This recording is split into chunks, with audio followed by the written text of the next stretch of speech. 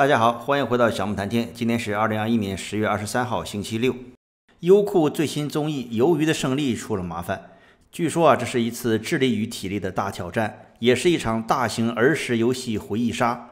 无论从节目的名字，还是游戏内容，还是海报上粉红色的圆圈、三角、方块元素，都让人联想到 Netflix 最近的爆款韩剧《鱿鱼游戏》。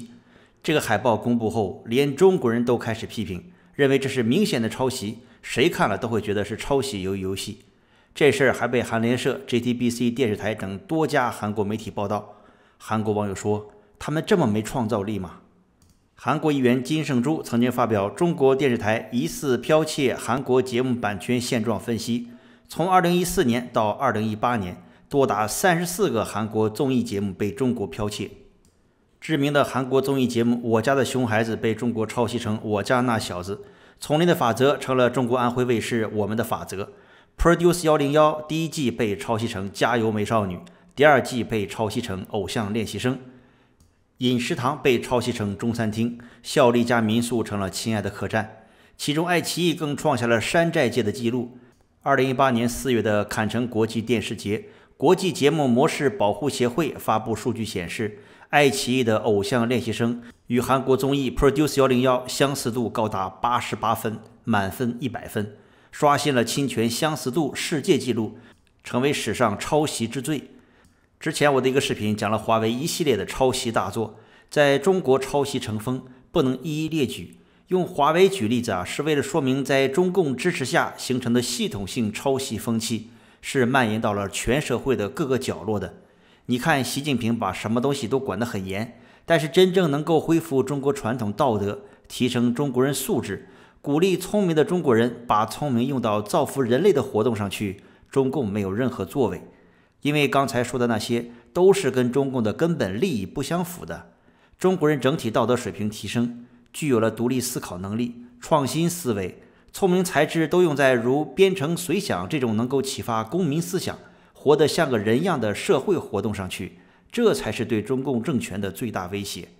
华为内部的纵容甚至奖励盗窃知识产权呢，就是中共体制的一个缩影。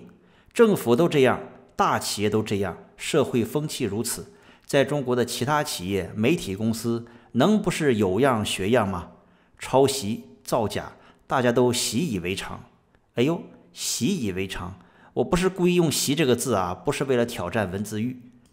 说一套做一套，那对中共是习以为常。习近平为了讽刺西方民主，刚刚说完，人民是不是当家作主，要看人民有没有广泛参与权。为了揭穿人大代表这个谎言，七零九大抓捕的两名维权律师的妻子王俏岭以及李文足、维权人士野静环等十四人日前共同发表宣言称，将参选十一月举行的北京市区县人大代表选举。你不是说人民参与吗？他们就真的参与了，果不其然，这几天他们受到政府人员各种限制，甚至被软禁或强制旅行。便衣和居民委的工作人员除了阻挠这几位人大代表参选人，还拍照记录现场情况。人大代表如果被这样的人选上去，这个政府还能存在吗？这就是我刚才说的，中共的根本利益就是跟中国人的利益对立的。尽管冲突的表现随着时代的变化而变化。冲突的严重性也有很强的地域性和行业特点，但是本质上是一样的。习近平又说了，民主要看权力运行规则和程序是否民主，要看权力是否真正受到人民监督和制约。习近平是真敢说话，处处戳自己的痛处，踩自己的红线，还得扮作没有事情发生。他敢说，还真的有人敢信。媒体被称为第四权，很大的功能就是起到监督作用。郑州泄洪造成那么多人死伤，中国人当然想要真相。突然，中国媒体的焦点变成了吴亦凡。十月二十一号，沈阳燃气爆炸，现场就好像灾难片的场景，惨不忍睹。这么大件事儿，媒体不应该紧跟着调查采访吗？结果，李云迪嫖娼被抓，登上热搜。微博热搜和百度热搜前几十名搜索结果中，非常少关于沈阳的消息。人们不禁要问了。中国的记者都去哪儿了？原来记者们被要求每年必须参加不少于九十小时的继续教育，继续教育的对象是从事新闻采编岗位工作并持有新闻记者证的人员们。记者们要把政治能力建设贯穿继续教育全过程。中共的记者证每五年换发一次。二零一九年新版记者证换发年的时候，中共也曾以记者证作为条件提出要求。当时要求记者证的申请者必须先通过学习强国手机 APP 的考试。戴了紧箍咒的记者们就不能指望他们公开在媒体上说出真相。虽然他们在继续教育营的环境会比新疆的在教育营要好，但是对于有良心的媒体人来说，被洗脑是那种心理上的折磨，感受也好不到哪里去。大家都在问呐，就这么下去，中国的希望在哪里？本来还有一点点希望，也都被消灭了。在国内还敢于说点实话的媒体，比如偏向于自由派的财新网，以长篇调查报道见长。媒体的调查记者也是我非常钦佩的一个职业。但是自由派调查记者都是当局这几年的重点打击对象，不需要调查，一切消息来源都被控制了，到时候过来拿通稿就好了。中共网信办发布新闻信息稿源白名单，财新网落榜了。财新传媒的创办者胡舒立被认为是王岐山的密友，有后台，相对比较有底气说话，但现在的大环境下也不允许了。我们还能记得的财新网重大事件报道是去年三月二十三号。武汉开放各殡仪馆领取疫情期间去世人员骨灰。财新网披露，仅汉口殡仪馆两天就到货了五千个骨灰盒，几乎是两倍于当时官方报道的武汉市死亡数字。而这仅仅只是武汉一个殡仪馆的数据。武汉市有八个殡仪馆，到今天我们都不知道武汉和湖北省的真正死亡人数。但是财新网的这种报道会被历史记住。中国原本还有为数不多的勇敢的公民记者。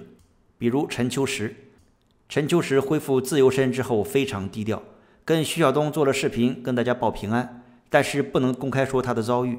我们从中共的手段可以想象他经历了什么。一个充满活力、神采奕奕的人，竟然被抑郁症困扰。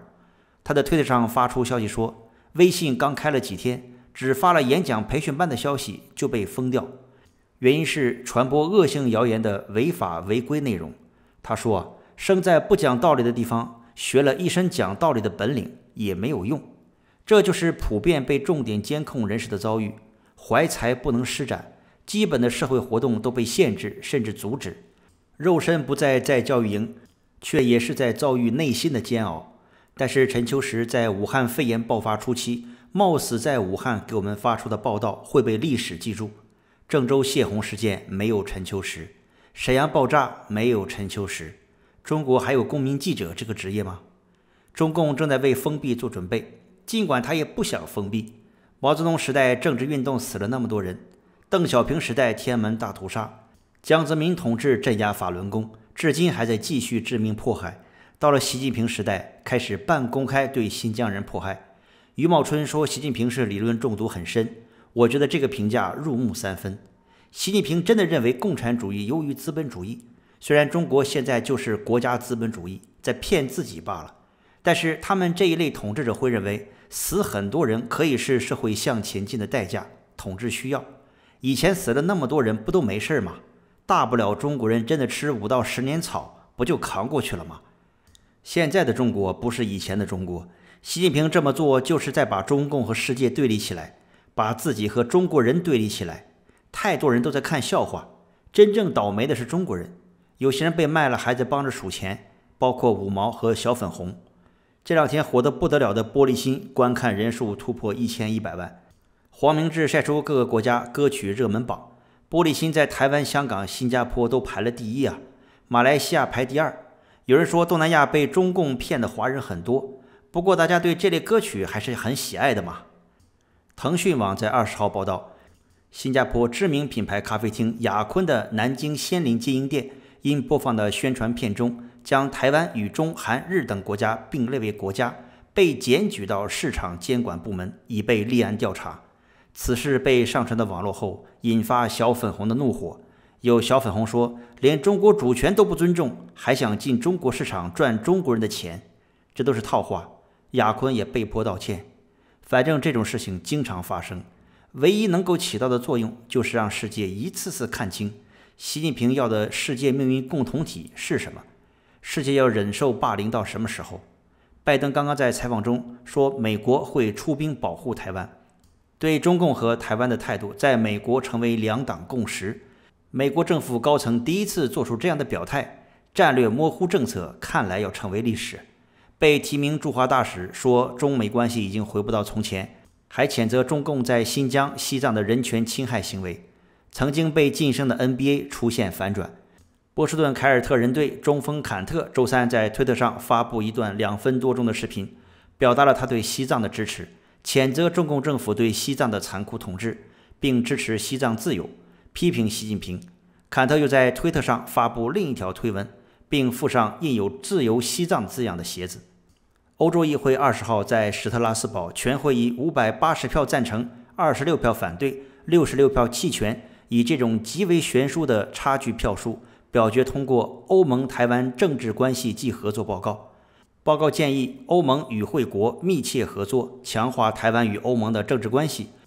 欧盟是台湾为其在印太地区的关键伙伴及民主盟友，台湾欧盟交流应提升至全面伙伴关系。报告也重申。欧盟强烈支持台湾以观察员身份参与多个世界组织。报告也欢迎台湾在立陶宛设立台湾代表处。那是不是越来越多的欧盟国家会出现台湾代表处呢？中共是不是离世界越来越远呢？今天讲的抄袭是可耻的，压制媒体、封住中国人的口是可恶的，对外欺凌弱小、嚣张跋扈是可悲的。哪怕我们不能做什么，心里要分清善恶。强权下手中有权力的人，对好人网开一面，留下善良的种子，也可能是无声救国的一种途径吧。不然，未来子孙生活在没有中共的环境里，如何看待我们呢？看我们今天祖先是这么生存的，他们会愤怒。